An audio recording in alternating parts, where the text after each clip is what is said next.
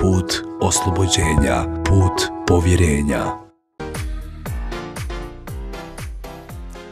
Pozdrav, dragi gledatelji. Evo nas u još jednom izdanju naše emisije. Dobrodošli u srce Sarajeva na TV1. Mnogo zanimljivih gostiju, mnogo dobrih priča za danas pripremili, stoga nećemo dužiti, idemo predstaviti našeg prvog gosta. Zadovoljstvo mi je u našem studiju pozdraviti gospodina Ademira Kenovića, režisera, producenta i scenaristu. Gospodine Kenović, dobar dan i dobro nam došli. Hvala najljepšim. Evo, e, dugi niz godina djelujete na sceni kao režisir, kao producent. E, koliko je danas teže ili možda lakše e, raditi nego možda na početku vaše karijere? Pa, uvijek je to sve isto. Nije lak naš posao. Naš posao je komplikovan, zato što je mnogo ljudi uključeno, zato što uvijek sve radimo, svaki projekat iz početka. Skupocijen je, i, e, kako bih rekao, zavisi od e, razumijevanja okoline, e, hoće li nam biti teže ili lakše. Sad, koliko je uopće u našoj zemlji teško baviti se kinematografijom? A koje su najveće prepreke? Evo, jednu ste već kazali, rekli ste da je skupo cijeno. Pa, u svim zemljama kao što je naša, osim industrijske, hollywoodske proizvodnje, e, država e, svata benefite koje može dobiti od e, kinematografije i u širem smislu od kulture i ukoliko joj stalo do države ima ozbiljna, daje ozbiljnu podršku ovome čime se mi bavimo. Kod nas, nažalost, u posljednje vrijeme zbog hiljadu raznih okolnosti e, ta podrška izostaje i onda mi jednostavno moramo raditi razne stvari, razna dovijanja sa pokušavanjem da e, obezbijedimo sredstva vani da bismo uradili makar manji dio onoga što možemo napraviti. Mislim da je očigledno e, koliko film i ono čime se bavimo doprinosi evo sad već ovaj festival koji je više od filma definitivno, e, koliko doprinosi e, našoj ekonomiji, našem turizmu, e, našem potencijalu komunikacija sa ostalim svijetom i mislim da će oni koji predstavljaju stanovnike, sve stanovnike naše zemlje prepoznati ono što svi koji žive ovde i koji ne žive ovde, naši ljudi, osjećaju, a to je izuzetna važnost filma.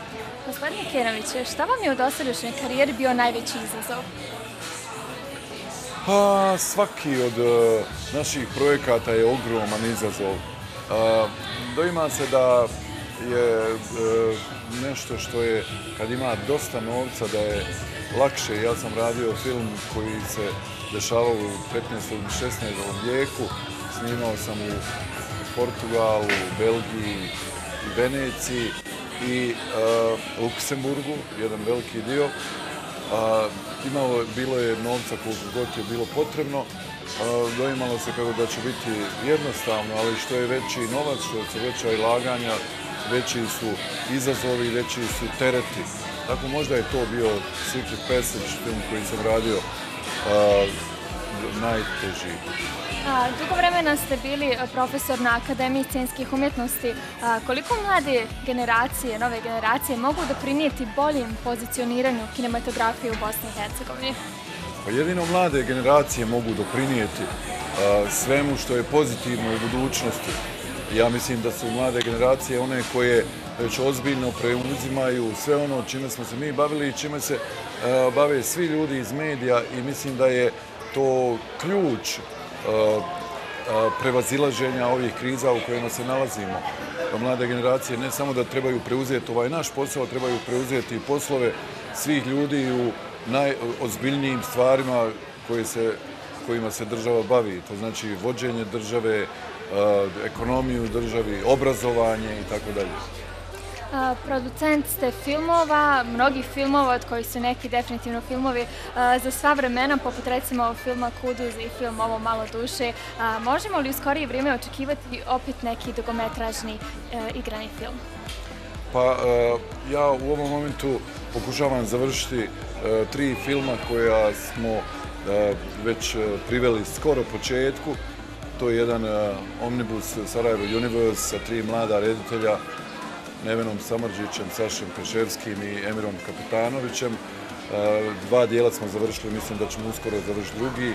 Zatim e, projekat Sržana Vuletića e, koji se zove Teretana u kojem sam, mislimo da trebamo ući krajem ove godine. I onda jedan veliki projekat koprodukcije nekoliko zemalja kojim isto tako u ovom sljedećem periodu e, šest do osam mjeseci ćemo ući. Tako da će biti projekata, mi radimo svo vrijeme i mi, nama je jedina stvar koja je preostala da radimo i da se borimo i da pokušavamo ubijediti sve da je ovo što mi radimo vrijedno. Da. Pomenuli ste Sarajevo Film Festival, evo 24. po redu, danas treći dan. Kako vi ocenjujete ovogodišnji Sarajevo Film Festival i po vašem mišljenju koliki je to značaj za Bosnu i Hercegovinu?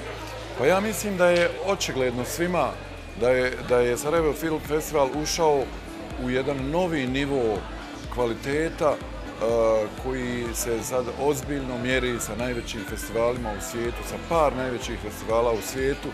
E, to se vidi ne samo e, po reakcijama ljudi, ovih naših koji posjećuju filmove, nego po ljudima koji se bave industrijom i po onim koji se odlučuju finansirati sve što je oko festivala.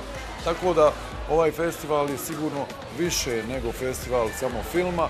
Ovaj festival je primjer šta treba raditi, kako treba raditi, kako se posvećeno i sa mnogo strasti treba baviti svojim poslom da bi se izašlo najozbiljnije na jednu internacionalnu pozornicu i to uspješno predstavljali Bosnu i Hercegovinu. I očigledno nije festival samo Sarajevski, festival je čitave naše države i čitave naše regije i ja sam sretan da čujem naše prijatelje iz raznih dijelova jugoistočne Evrope koji misle da je festival njihov.